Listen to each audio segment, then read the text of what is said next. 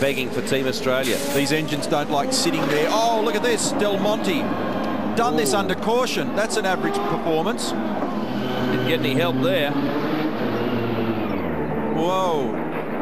And the team will certainly be frowning on that. They don't like seeing that kind of mistake made when there's no pressure. Greg? This yellow period is all good for Jimmy Vasser, who currently sits fourth on the road. Remember, they waited until lap 22.